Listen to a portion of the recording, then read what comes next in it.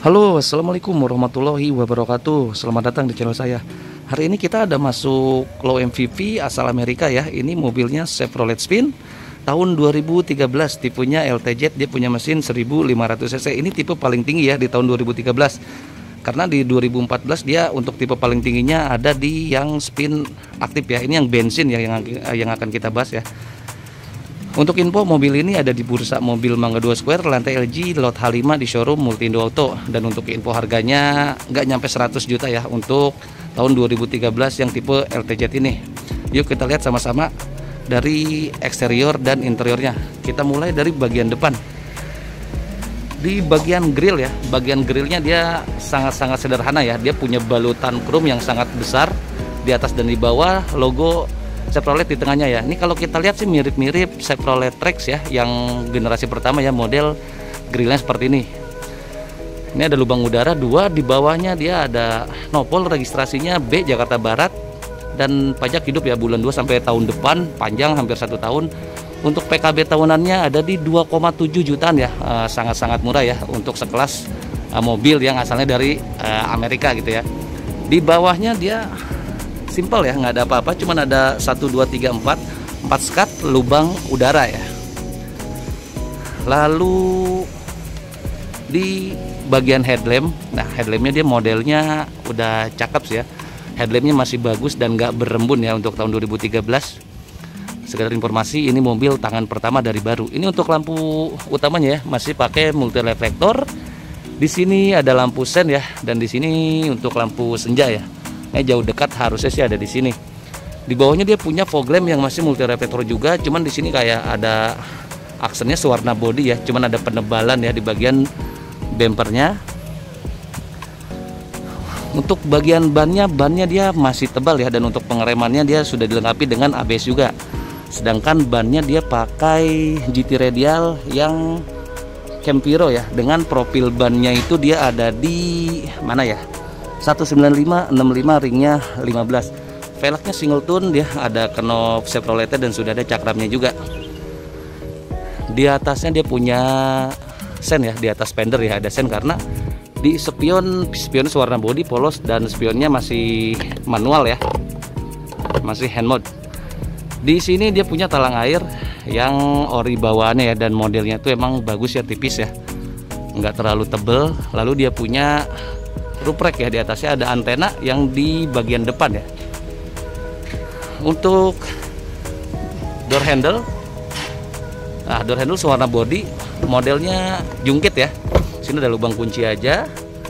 Untuk di pilar blackoutnya hitam dok.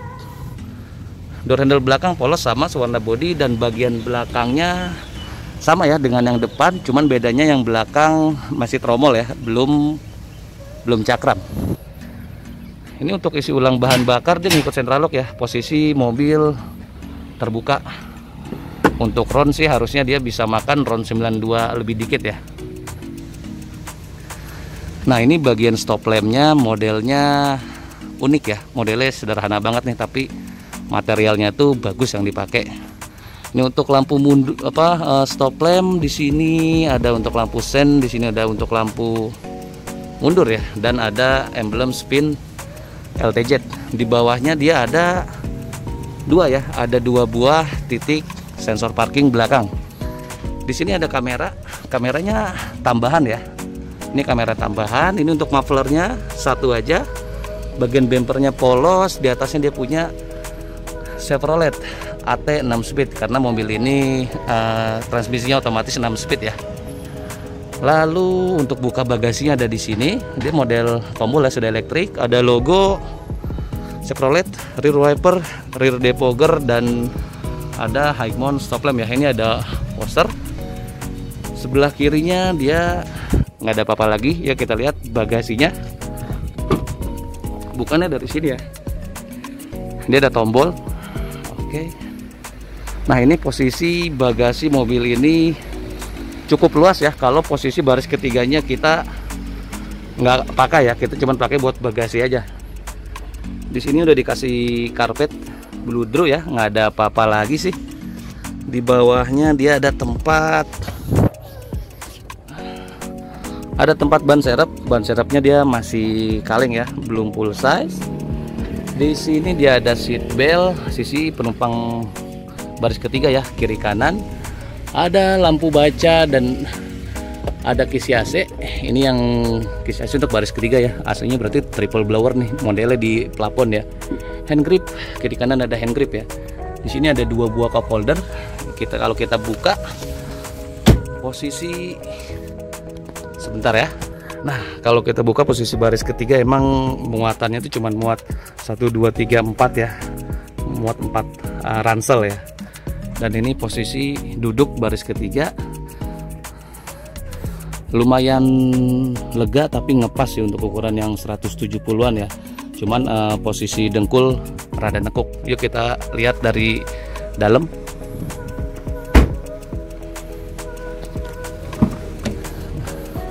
Di bagian trim dia masih plastik tapi di bagian sininya dia sudah fabric ya kain. Karena uh, ini tuh bahannya sama dengan jok yang dipakai sini door handle dalam ya aksennya chrome. Central locknya dia dari sini ya. Uh, di sini jadi satu ya. Power window tempat apa laci penyimpanan kecil ada satu buah holder dan ada speaker. Nah ini di belakangnya ada seat back pocket. Kiri kanan ya seat back pocketnya ada cup holder dan ini tampilan joknya ya. Jok kita coba duduk di baris ketiga. Oke bener ngepas tapi buat ukuran gua yang 165 ya kurang lebih pas banget sih. Eh, nggak terlalu nekuk ya. Mungkin posisi dengkul itu bener-bener ngepas sama kursi baris kedua ya. Masih enjoy dia punya headroom yang masih ada jarak ya. Dan dia punya headrest yang bisa adjustable sih. Posisi baris kedua nyaman. Dia punya material joknya tuh lebih tebel ya dari rival-rivalnya. Jadi untuk posisi duduk lebih empuk ya. Ini dia udah diganti sama headrest monitor nih. Ini tambahan ya kiri kanan trim bagian penumpang belakang sama ya. Door handle chrome power window sini udah blue through ada hand grip kisi AC untuk baris kedua dan ada pengaturan speed AC nya ya. Ini ada hand grip seat belt bagian posisi driver ya sama belum heat register ya kiri kanan. Dan ini tampilan dashboard Chevrolet Spin 2013 varian LTZ 1500 cc bensin ya. Oke ngap ya. Kita ke bagian depan.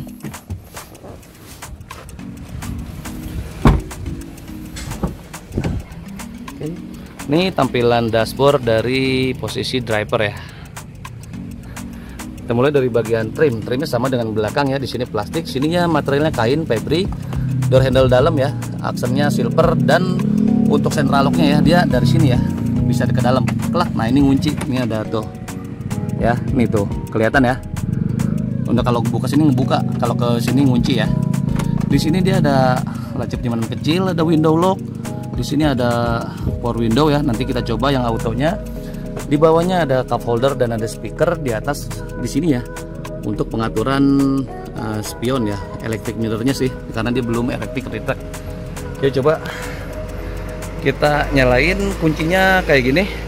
Sama kuncinya sama si Chevrolet Track ya model lipat di bagian jok pengaturannya masih manual ya. Ini untuk recline reclining ya. Tapi dia udah ada heat adjuster nih. Model puter dan untuk slidingnya di sini ditarik. Matic dua pedal ya. Ini untuk buka tuas uh, kapesin ya. Sini untuk pengaturan headlamp di kanan ya. Ini untuk brightness. Yuk kita coba nyalain Oke, mobil udah nyala ya. Di sini pengaturan AC, ada buka tutupnya dan bahan dashboard masuk plastik, AC depogger. Di sini kita masuk. Tuh, panas banget. Oke, kita udah ada di dalam kabin ya. Kita lihat bagian speedometernya speedometernya tuh lebih bagus dibanding rival-rivalnya ini MID-nya gede banget ya dan infonya sudah lumayan lengkap di sini ada RPM indikator uh, parking brake ya di sini ada sisa bahan bakar speednya udah format digital ya. Di sini ada kode parkir kita lihat menunya ada apa aja. Untuk odometernya baru 65.000 ya. Ini tuas transmisi di sini ada kayak real time. Ada rata-rata konsumsi bahan bakar kayak ada sisa bahan bakar ya balik lagi ya. Rata-rata kecepatan ada di sini semua yang men menunya dari sini ya ini yang atas bawah ya. Dan ini menu untuk ganti ke unit dan set ya tuh di sininya sama sih. Oke. Lalu untuk bagian setirnya setirnya tuh modelnya cakep asli. Eh, nggak uh, terlalu enteng ya dia punya setirnya tuh. Karena emang bobotnya tuh mobil ini bisa dibilang low MPV tapi rada keker dibandingin rivalnya nggak kaleng-kaleng. Untuk pengaturan setirnya sendiri dia baru tilt aja ya belum teleskopik untuk di sini tadi skala apa selain pengaturan MID untuk lampu dim ya di sini ya. Nih lampu dim di sebelah kanan karena pengaturan headlampnya tadi ada di sini ya. Di sebelah kiri untuk pengaturan wiper lengkap dengan itu depan waktunya tapi belum itu ya. Belum auto. Di sini ada logo Chevrolet posisi airbagnya dual ya. Eh sorry. Satu nih airbag ini cuman di sisi driver aja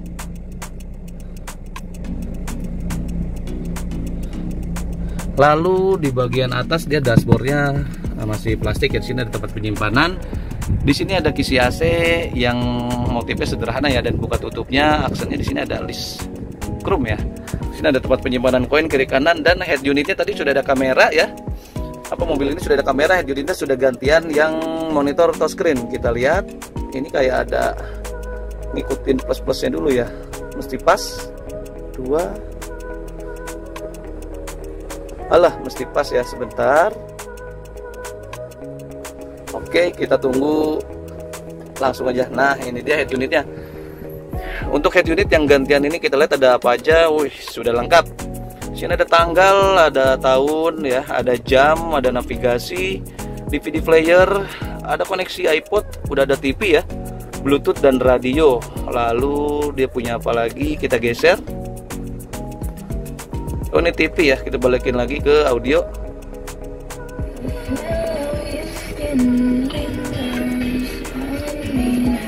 Lumayan ya audionya ya untuk mobil low MPV sekelas ini. Dan central lock tadi nggak ada di trim karena central locknya ada di sini. Ini untuk buka tutup juga bisa ya dari sini ya. Ini open close ya tapi posisi yang di trim tadi juga bisa dipakai untuk buka tutupnya langsung di bagian door handle yang chrome tadi. Ini untuk lampu hazard ini untuk pengaturan rear AC bagian belakang ya on. AC nya sendiri dia masih manual ya ini untuk speed ini untuk arah semburan di sini untuk suhu. Di bawahnya ada laci penyimpanan dan ada remote-nya ya tuas transmisinya. Dia ada selain D ada D1 D1 nya ya. Oh ada mode triptonic juga nih kayaknya nih. Ini plus minusnya di sini ya. Di bawahnya lengkap ada aux USB ya USB aux dan ada lighter laci penyimpanan dengan dua buah cup holder. Ini parking brake nya masih model tarik dan ini tampilan kursi penumpang bagian depan ya. Trim penumpang bagian depan polos ya sama yang belakang door handle chrome. Noh ini untuk bukanya clean nah ini untuk buka. Kalau ngunci kita tekan ke sini. Nah ini udah ngunci ya power window. Laci penyimpanan ada speaker ya. Lalu ada kisi AC dan AC dipugger di sebelah kiri belum ada airbag ya cuma sisi driver aja. Ada tempat penyimpanan lagi. Di atas ya bukan di bawah di sini ada tempat penyimpanan juga. Di bawahnya polos ini di ada hand grip. Ada side pisau tapi udah nggak kepake sebelah sini ya karena ditambahin antena ya untuk si TV atau radionya. Karena unit sudah gantian. Ini lampu baca lampu kabin ya satu aja. Bagian ada card holder aja nih tapi polos nggak ada vanity mirror nggak ada lampunya juga. Hand grip di sini nggak ada. Dan untuk seat beltnya masih biasa ya belum tertutup cover. Eh, kita coba power window-nya di sini ya. Belum auto. Belum auto. Power window belum auto ya. Tuh. Sebelah kiri sama ya. Untuk power window dia belum auto. Oke dari tampilan depan udah ini udah semua ya nggak ada yang kelewat. Ayo kita ke bagian mesin.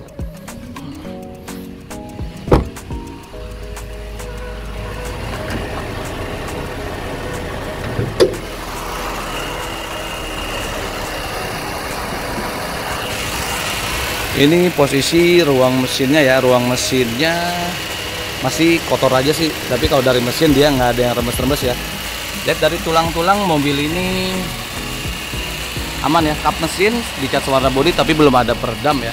Di sini ada aki di sini ada sikring ini untuk pengisian air wiper ini kayak air coolant ya. Ini apa ya? Power steering. Ini power steering. Di sini untuk isi ulang oli mesin joystick untuk mengecek kekentalan oli ya. Oke modul ABS nya dia ada di sana ya ini punya mesin 1500 cc ya. Dia S-Tech 3 16 pel ya 4 silinder. Ini mesinnya itu kalau nggak salah yang dipakai di Wuling Convero ya karena kan mobil ini udah stop produksi. Dia itu mampu ngasilin tenaga sebesar 106 PS atau torsi puncaknya di 140-an ya Newton meter disalurkan lewat penggerak roda depan dengan transmisi otomatis 6 speed ya. Ini rangka-rangka dari tulangnya aman ya mobil ini nggak ada indikasi bekas nabrak atau bekas nyundul. Untuk wiper bagian depan dia motifnya bagus ya. Motifnya bagus dia wipernya. Nggak yang biasa-biasa aja. Oke tutup lagi.